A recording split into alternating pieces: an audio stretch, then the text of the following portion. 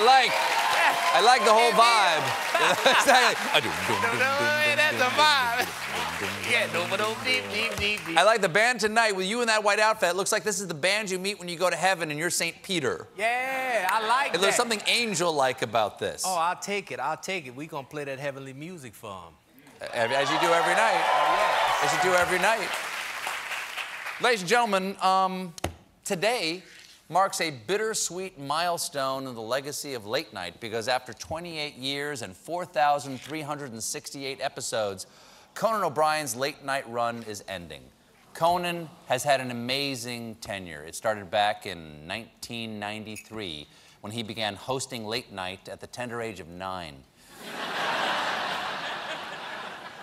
Following a rocky puberty, he moved on to The Tonight Show and then spent 11 years at Conan on TBS, not to mention his brief spin offs Conan SVU, Conan the Tank Engine, and Conarcos. Tonight is his last show, uh, but like a kid who keeps saying he's running away, he'll be back before you know it with a new weekly show on HBO Max, which I assume is short for HBO Max Weinberg. And just to get ahead, I'd like to wish Conan a fond pre farewell for his upcoming triumphant decade on streaming and the next eight years on Gas Pump TV Plus. and his late 2040s run on a microchip infused jelly that's injected directly into viewers' amygdala. It really feels like the bear is masturbating directly into your brain. Conan is a dear friend and a lovely fella who has been nothing but a strength and a great source of advice for me as I took over a late night show. And I want to congratulate him on 24 incredible years and several perfectly fine ones as well. I hope he makes the most of his six days of retirement before starting work at HBO. And right now, I've asked one of my writers, Brian Stack, who worked with Conan for many years, to come out here and share some of his memories of working for Conan. Brian, come on out here. Brian Stack, everybody. There you go. Brian. Brian. Uh, how long did you work for Conan? 18 years. Wow. So you must know the true Conan that no one else is allowed to see. Are you ready to dish the ugly dirt about your old boss? Sure, if that's what my new boss wants. Yes, it is. Okay. All right, let her rip. He can't hurt you anymore. Go. Okay, here goes. Uh, this is probably something I definitely shouldn't say, but uh, he's Irish. He is. Yeah, we we all knew that, Brian. Wait, no, you didn't let me finish. He's Irish Catholic. There's, there's different types. I understand. I did let you finish. Uh, and and come on, you were there backstage. Dark secrets, cameras off, nobody looking. What happened? Oh, okay, here's one. Conan, Conan is really tall, surprisingly tall. It's like, That's his whole deal, Brian. He's Slender Man Ron Weasley. Come on. He's leaving late night.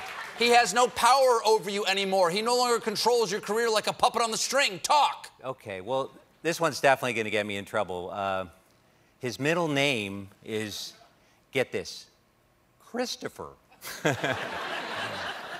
Brian, what's weird. going on? Did Conan make you sign an NDA? Oh, you mean like something where I'm not allowed to reveal details, like whether I've been asked to sign an NDA? Yes. Yeah, I signed one of those. But, you know, actually, on second thought, it may not have been an NDA. It may have been a get well card. Okay, clearly, clearly you've got nothing. Just forget it. Ladies and gentlemen, I remember now. We got him the card because he got a pretty nasty contusion after he tripped after we robbed that hospital. yeah, yeah, that's right. We, we needed the money to buy cocaine for our orgies at Betty White's underground sex dungeon. Yeah, and Conan likes his snow really pure. He'd always say, Come on, Brian, you're on Team Coco. That stands for Conan's cocaine. wow.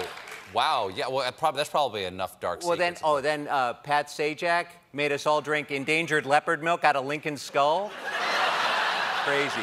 And you know that thing is not watertight. Milk everywhere. Okay, okay, Yeah. Brian, you really, you really don't. Oh, I remember it well because it was right before Conan started selling counterfeit penicillin to clinics all over the developing world. Yeah, he knew Interpol was closing in, so he had to go into hiding with the Ukrainian arms smugglers he knew You know, from when he used to run AKs to the Mujahideen in the late 80s. You know, back when he was writing for SNL, they had summers off. And uh, I'll never forget what he told me just before he filed his fingerprints off and had his face reconstructed using cadaver flesh sourced from a Chinese political prison. He looks me right in the eye and he says, Brian, if I can give you one piece of advice, it's never tell anyone I'm going to murder Jeffrey Epstein. so wise. He will be missed. He will. Brian, thank you so much. Brian Stack, everybody. Congratulations, Conan. We'll see you at Betty White's Sex Dungeon. When we come back, I sit down with Robert Duvall at his Virginia ranch.